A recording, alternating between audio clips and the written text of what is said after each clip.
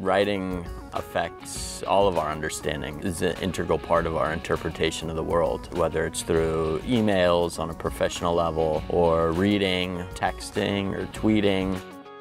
I write to engage in a conversation with other people who are interested in similar ideas.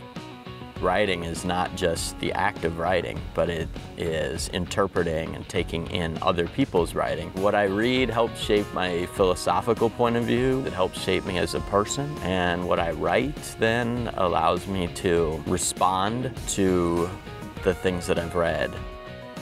Writing allows me to concretize. You put those ideas down, but then the, having them there allows you to go back in and, and grapple with them and make them clearer. And, and when you make them clearer for your audience in the act of revision and finally editing, you're making them clear for yourself.